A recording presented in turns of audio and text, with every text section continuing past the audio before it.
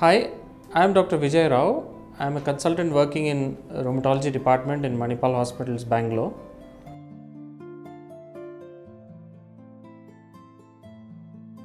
The first and the foremost treatment is immediately in the form of steroids, which is given. The safest route is an injection, which is given on the muscle.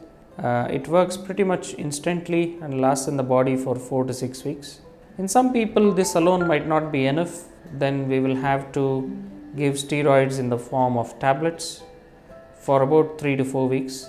But the main treatment is in the form of tablets, what we call as disease modifying drug therapy, that has to be taken minimum for two years. And these treatments start working only after 45 days to 60 days, and they should not be stopped until the rheumatologist says.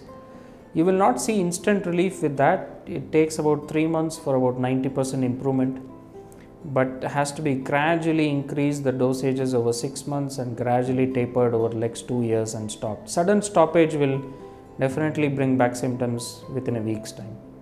We sometimes use advanced treatments called biological agents, which work on particular chemicals in the body, achieving a better cure, control, and in lesser side effects but these are reserved for patients who have not responded to tablets and for more severe disease because it's expensive and we don't use it upfront.